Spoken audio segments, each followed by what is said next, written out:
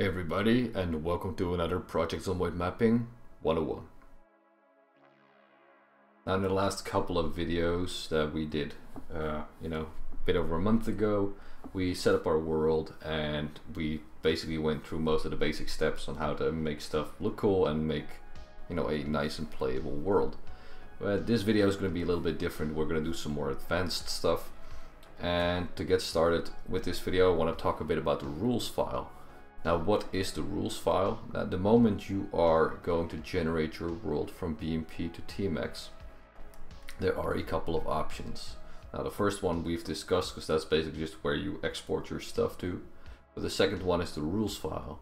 And that's something you can actually edit and you know make changes to and really use it in your advantage to speed up your general process of making your maps. Now in my case I have different rule fi rules files. I recommend always making a backup just in case you actually fuck something up. Um, but I'm going to close this menu. Alright, so we are now in our rules file and there are a whole bunch of entries here that probably don't make much sense to you from the get-go. Um, I think it's wise to start where we understand it and then build from there and explain the file. So I'm not going to start from version 1 and go just scroll down and explain it to you because that doesn't make any sense. So when we are drawing our file in Photoshop, we have these colors that we can work with, which I have explained in my previous video, so you've probably watched those, so I'm gonna assume you guys have that knowledge. So you have, you know, the dark grass colors, the medium grass colors, the road colors, you know, and, and so forth and so forth and so on, etc, etc. Yeah, let's not use Dutch words and combine them in English, that's not going to work. But the point is, you kind of get what I'm going here, coming from. And there's a bird on the roof, which is also distracting. I have like no sleep, so that's why I'm rambling a little bit, I'm sorry about that. Okay, so you use these specific colors to draw stuff, and those colors are located a little bit down the road. So here you have certain rules and then you have a label, a bitmap, a color, which is the one I'm talking about right now, then the tiles that are listed for it, and then the layer that it should be on. And the same goes for trees and all different kinds of combinations that you have. So uh, yeah, let's take the trees as a example here. So we have a rule for the tree with the label trees, and then it calls for a bitmap image which in this case is 1. Now we have the option between 0 for a bitmap image and the option between 1 for a bitmap image. Now that's the difference between the regular map that you're drawing for your world and the vegetation map that you're drawing for your world. And the regular map is being picked up by bitmap 0. Your vegetation is picked up by bitmap 1. That's very simple. If you want to put something on your vegetation map, give it the bitmap 1 value if you want to put it something on the regular map, give it a bitmap 0 value. Now, after that, we can define a specific color. In this case, the color is 255 for red, which makes it fully red, and then 0 for green and 0 for blue. So those are your RGB values. Now if I put these into Photoshop, you can do this in any program, that shouldn't be an issue. I can do 255 by 0, 0. And if you've been playing around with you know the, the map editor and drawing your images, you can probably recognize that this red color means that it's a dense forest. It's all trees, no bushes, no bullshit. So that color right there in the file corresponds to the one that you're drawing inside of Photoshop or Paint.net or GIMP. Now below that, there are the tiles that can be used in this rule. And then you have a layer which specifies on which layer it should be drawn. That's very, that's, that's kind of the basics of the basics. Now, with that explanation, you can scroll down and see that there are different colors for different trees and you can, you know, specify more tiles for it actually to work or you can actually specify entire groups of tiles. So we have dark long grass here, and if we search for that, we can actually find that. Probably should go up and not down. Here in the alias, there is an alias for dark long grass. This just defines that these tiles all are all represented by this single name. So with this name, you can use all of these tiles, or all of these tiles are called upon. Now make sure that this is an alias and not a rule, because the rules are the ones that, you know, the colors get picked up upon. The aliases can be called in those rules. So in this dark long grass alias, let me scroll down again, you can see that here dark long grass is called upon in the rule for trees and dark grass. Now you may ask why is this listed twice? Basically it creates a list of all of these things, all of the entries, and then sorry, all these entries, and then every entry has the same chance of appearing. Now, if we only have dark long grass once, then the chance of it appearing is just as high as it appearing as the dark medium grass.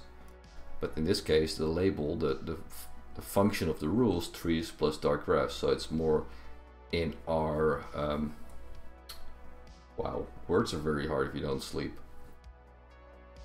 We want it to have more dark grass, so if we add, we add more entries for dark long grass, and this is by default, um, so there's a bigger chance of it showing up. Now the only exception from this rule to the other one, aside from more entries, is that there is a condition down below. Now in general you don't have to play around with conditions, but a condition can mean that a certain color has to be underneath on the regular layer, on the layer where you draw your roads and you know the regular grass, um, to be underneath for this rule to work with in you know using this you can make exceptions so that you can't actually draw this stuff on roads um, but you don't really have to play around with this. Now why is knowing all of this useful? In my case I copied the entire file and named it rules edit Diederik because that's my name and I can you know find it back and I added a whole bunch of entries on the bottom I actually added entries for a whole bunch of fences, so I can just draw these fences out in Photoshop and uh, copy and paste them, which works for certain parts. I wouldn't recommend doing it for all fencing in your in your map, but it can really speed things up. Now, the ones that I am most excited about are, for example, this flower field random, which I, I'd like to spawn flowers in my world at random, hence the rule. And I simply made a rule for that. I have a label called flower fields flower field random. It is on my vegetation map. Uh, I, uh, I picked a color for it that wasn't used by anything else. And I just selected a, or, you know, searched for and then put them in here, a whole bunch of entries for different flowers that I liked to appear in this rule and of course it spawns on the vegetation layer. So if I draw this color, the one that's RGB here, in Photoshop, and then I, you know, do BMP to TMX in my world, I can actually spawn flower fields. And that's very useful because that speeds up a lot of things as I'm quite handy with Photoshop. And I can do a lot of things with that, but I did the same things for bushes, and I have uh, farm plants, I have hay, I have the tomatoes and the cabbages, and corn. Um, and that really helps me speed up making farm fields because I can just throw down a whole bunch of tomato plants and make it look nice very fast, very easily in Photoshop. And then just put it into the game and it all just works. I wouldn't recommend actually putting a lot of tomatoes and cabbages and corn all over the place because it's a lot of tiles that have a function where they have to calculate if it has water or you know if it's drying out and stuff like that, uh, which can impact performance. So just putting that out there. but um, if you if you do it sparingly, I think you will be just fine. Now I did the same thing for example this rule for the, the horizontal dirt.